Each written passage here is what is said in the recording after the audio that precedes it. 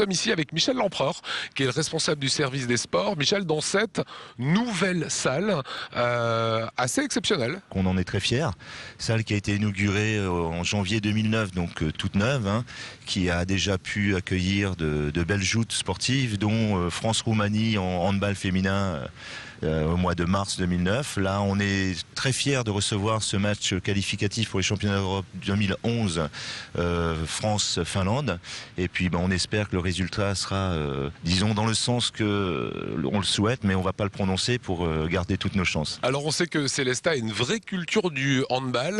Elle vient d'où cette, cette culture-là? Elle elle est venue grâce à quand même des grands champions. Thierry Omeyer est aujourd'hui quand même notre meilleur représentant, euh, j'irais, national.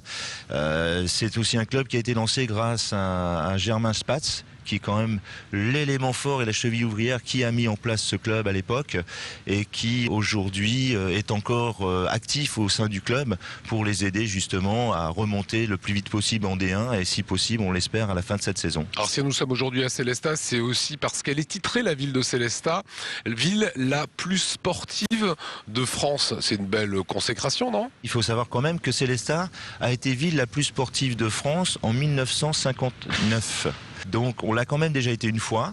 Euh, on l'a gagné cette année. On en est très fiers. Il faut quand même savoir qu'on compte plus de 6186 licenciés sur Célestat pour euh, 38 disciplines sportives. Et euh, il y a aussi nos infrastructures sportives sur lesquelles on a fait euh, de, de gros gros efforts. Ce site, euh, même s'il est intercommunal, en est quand même euh, un exemple. Alors grosse actualité, ça sera ce week-end, c'est la fête du sport. Qu'est-ce que la ville de Célesta va proposer hein? Alors pour vendredi soir, c'est payant. Ça c'est le match. euh, C'est le match officiel. Pour le samedi, vous aurez euh, la fête du sport qui va commencer dès 13h30 avec euh, plus de 30 associations célestadiennes qui vont proposer des démonstrations, des animations, des informations sur leur club. On suivra ça. On aura aussi en parallèle la présence de Ty Chris, le triple champion du monde de roller, qui nous fait la joie de venir, qui inaugurera le ro- roller park. Et il accepte de donner son nom à, son- à ce roller park. Il nous fera deux démonstrations à 16h et une à 17h15. Le Taïkri, c'est celui qu'on a vu récemment euh, sauter de la Tour Eiffel. hein. Voilà, et qui était aussi sur Colanta, paraît-il.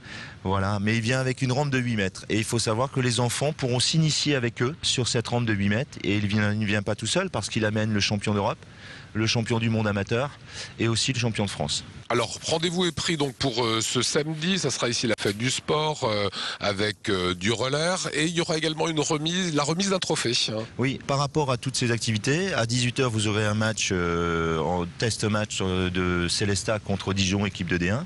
Et suivra à 19h30 la remise du trophée du challenge de la ville la plus sportive, qui va concrétiser ce, ce titre hein, et qui sera remis par euh, le membre du jury du challenge l'équipe. Tout ce travail est fait aussi conjointement avec euh, le soutien de l'OMS, dont Madame S est la présidente.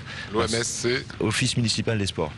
Hein, ils sont des partenaires incontournables et si cette fête du sport existe, c'est aussi grâce à eux. ce sont les hommes hein, qui euh, font euh, avancer les choses. Merci Michel.